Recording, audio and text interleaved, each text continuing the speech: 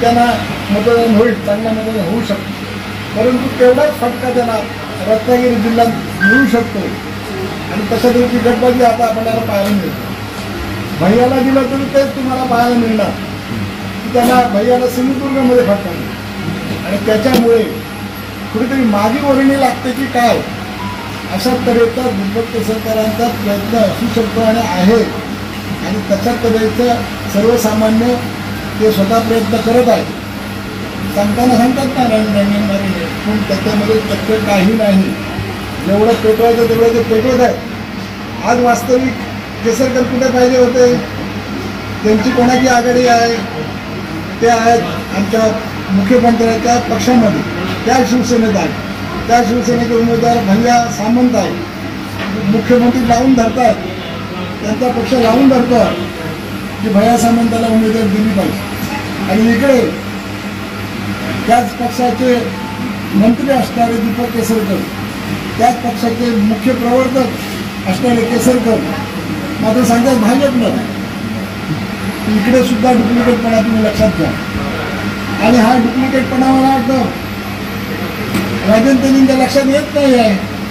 हे जर काहीतरी स्वप्न बघत असतील तर ती स्वप्न त्यांनी विसरावी.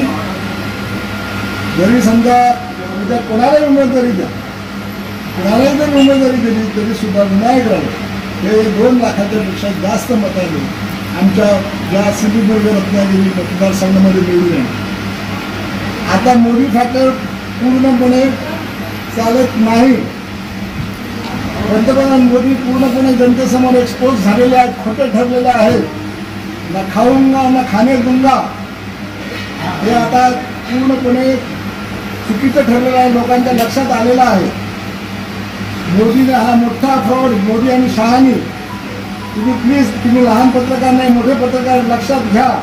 हा मोठा फ्रॉड आणि तो फ्रॉड करताना पूर्णपणे घ- घटनेला चॅलेंज केलेला आहे. आमच्या देशाची घटना काय सांगते? कायदा जर करायचा असेल कायदा करायचा असेल तर तो लोकाभिमुख असला पाहिजे. जनतेसाठी असला पाहिजे. कुठला एक कायदा एखाद्या पक्षाचा स्वार्थ साधण्यासाठी जर एखादा कायदा कोण करत असेल तर ते अत्यंत चुकीचा आणि त्याच्यामुळे आपण पाहतो आहोत इलेक्शन बॉन्ड आणण्याचं काम या मोदी सरकारने जे केलेलं हा महा मोठा फ्रॉड आहे. त्याच्याबद्दल जर्मनीने आपलं मतप्रदर्शन केलेलं आहे. युरोपमधून काही देशांनी मतप्रदर्शन केलेलं आहे.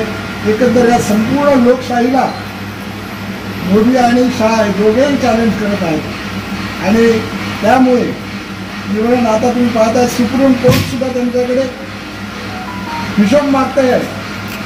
हे इलेक्शन बॉन्ड तुम्ही तुम्ही कोणाकडून कोणाकोणाकडून घेतलेले आहेत? इलेक्शन बॉन्डचा हिशोब ते देऊ शकत नाहीत. फक्त सोळा हजार का सतरा हजार कोटी बाहेर आलेले आहेत. नावही त्यांची अजूनपर्यंत जाहीर करू शकत नाहीत.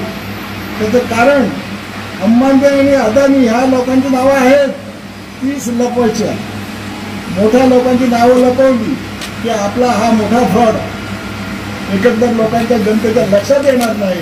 आणि म्हणून आपण पाहिलं आहे की काँग्रेस पक्षाचे राहुल गांधी खरगे साहेबांनी आमचे शरद पवार साहेबांनी सुद्धा जाहीर केलेलं आहे. आमचं सरकार आल्यानंतर ईडी लावली जाईल या इलेक्शन बॉन्डवर आणि आपण त्यावेळेला बघाल जे मोदीने राजकारण केलं ते सगळं राजकारण त्यांच्या अंगावर जनतेमुळे मोठ्या प्रमाणामध्ये प्रमाणामध्ये महागाई वाढलेली आहे. आमच्या काळामध्ये मनमोहन सिंग यू पी आयचे पंतप्रधान असताना चारशे रुपयाचा आपला सिलेंडर होता. हा चारशे रुपयाचा सिलेंडर आता आपण पाहतो आहोत. याची किंमत जवळजवळ हजाराच्या पोटात गेलेली आहे. जराशी कमी आता काहीतरी कमी करतायत. पेट्रोलचे भाव तशा प्रमाणे वाढलेले आहेत. डिझेलचे भाव तशाप्रमाणे वाढलेले आहेत. डिझेल आता जवळजवळ शंभर रुपये किलो झाले लिटर झालेलं आहे.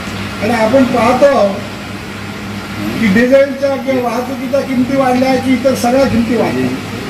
आणि त्या अनुषंगाने आपण पाहतो आहोत की आपल्याला सगळीकडे महागाई आपल्याला पाहायला मिळते आणि लोक सगळे त्रस्त झालेले आहेत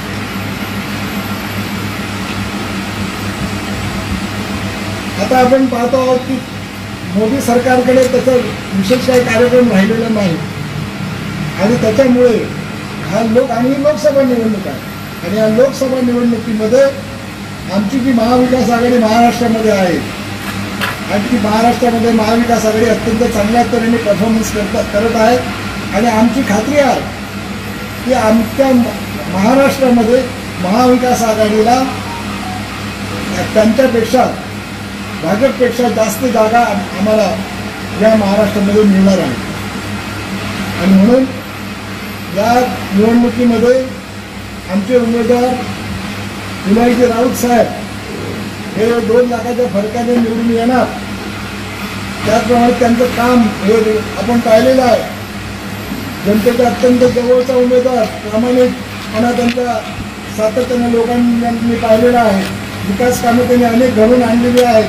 आमचं इंजिनिअरिंग आपलं मेडिकल कॉलेज एवढं मोठं मेडिकल कॉलेज गव्हर्नमेंट लेवलला कुणालाही मिळत नाही. ते मेडिकल कॉलेज आपल्याला त्यांनी विनायक राऊतांनी आणि उद्धव मुख्यमंत्री असताना मिळालेलं आहे.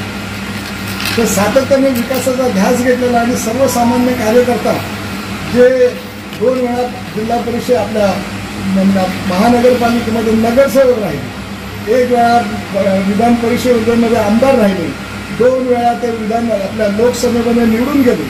अशा तऱ्हेचा लोकाभिमुख अशा तऱ्हेचे आमचे इंडिया आघाडीचे उमेदवार आहेत आणि त्यांना या वेळेला दोन लाखाच्या जास्त फरकाने मिळून आपण पाहतो आहोत की काही लोक आता जे भा जनता पक्षाचे होते भाजपचे होते जे आमच्या जरा आमच्या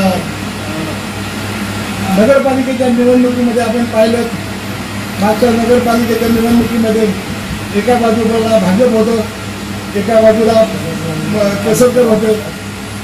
आणि अनेक आरोप एकमेकावर करत होते. प्रत्येक संस्थेमध्ये राजकारण सुरू होतं. परंतु आता आम्ही बघतो आहोत निवडणूक जसजशी जवळ यायला लागलेली आहेत तशात राजनतेनी आणि त्यांचे सर्व सहकारी हे आता दीपक केसरकर यांच्या कार्यालयामध्ये जाऊन पत्रकार परिषद घेत आहे घ्यायला सुरुवात केलेली आहे त्यांनी. त्याचं द्योतक काय आहे? याचं यांना वाटतं की कदाचित आता नारायण राणेंना उमेदवारी मिळाली मिळाली असं त्यांना जरी वाटत असतं की प्रत्यक्षात मात्र हा गाव वेगळ्या तऱ्हेने चाललेला आहे. तो भाजपच्या कार्यकर्त्यांच्या लक्षात येत नाही. आणि जरी समजा उद्या कोणी उमेदवार असले तरी विनायक राऊत दोन लाखाच्या मताच्या फरकाने निवडून येणार.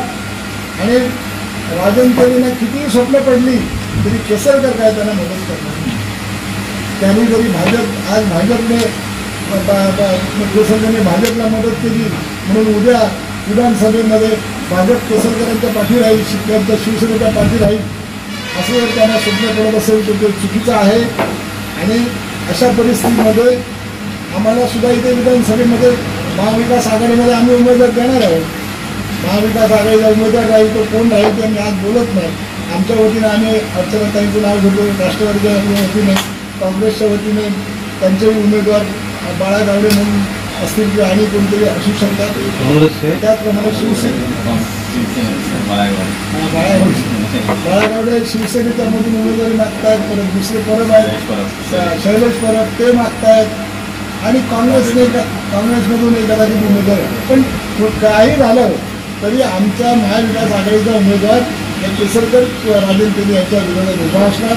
आणि त्यांना जे वाटतंय की आम्ही जर दोघं जवळ येऊन आलो तरीसुद्धा त्यांनी एकमेकाला आयुष्यभर फसवत आलेले आहेत. राजकीयदृष्ट्या मी व्यक्तिगत बोलत नाही. राजकीयदृष्ट्या ते कदापि एका एकमेकाला साथ देतील. असं करू शकणं दोघांनी बनवू नये.